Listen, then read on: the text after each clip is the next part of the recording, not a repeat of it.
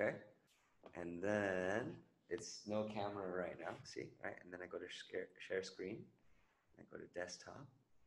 And then I go like this. Okay, so I'm going to show it here.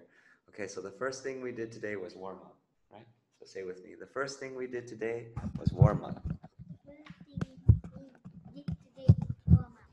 Was warm up, but that's okay. It's not perfect. It's all good. All right. We learned some new words from Raz Kids. Right. We learned some new words from Raz Kids. That's going to be a character, the plot there, and then here's this one about the setting, right? And this one's a setting here. Okay. Hold on. Let me change this. Ta-da, setting here, right? And then we have plot, and then we have character. Okay? I love the GIF, right? Say with me, I love the GIF. Okay, so the plot in this story is pretty simple, right? A man is washing his car, a bird looks, a bigger bird looks, another fat bird looks.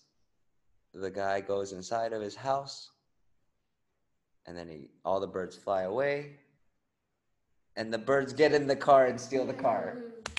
And the guy's like, "Oh no, my clean car!" Right? And that's the story, right? That's the plot. that's the plot.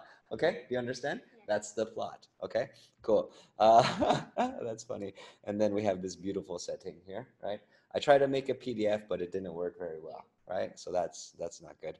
Uh, the story is always the best part. Ah, I wish I recorded you saying that one before, but you do understand, yes? Yes. Mm, okay. Now you are the main character in your story. I wish we could see your face right now. It's awesome. All right. And then I like this next part. What's your interesting plot?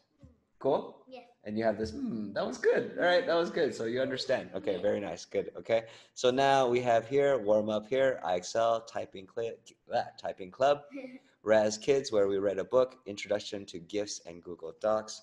And then we have here, objective six here is going to be vocabulary, vocabulary, and the elements of a story.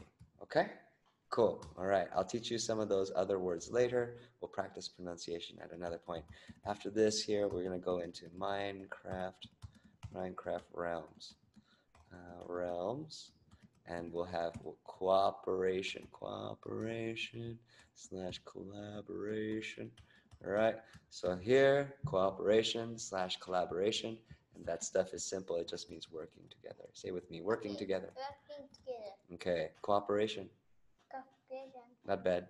And then we have here, it's okay, all right, collaboration. Collaboration. Okay, not bad. Okay, good, good, good. Okay, sounds good. All right, boom, boom, done.